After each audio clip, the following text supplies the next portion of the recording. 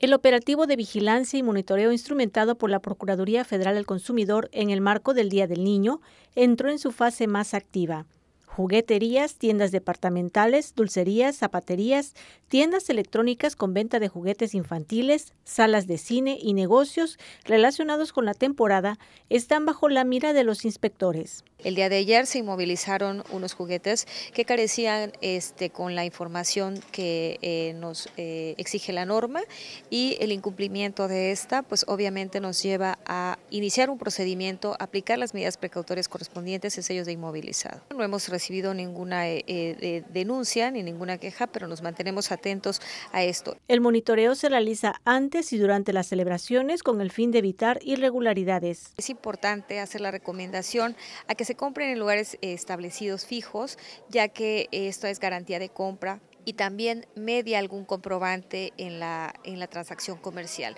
Esto nos da garantías y puede respaldar a los consumidores en caso de alguna queja. El operativo concluirá este sábado 30 de abril pero los consumidores que resulten afectados por el incumplimiento de ofertas y promociones pueden acudir personalmente al módulo de la Profeco ubicado en el anexo de la Torre Chiapas o bien llamar a los teléfonos 60 259 36 al 40.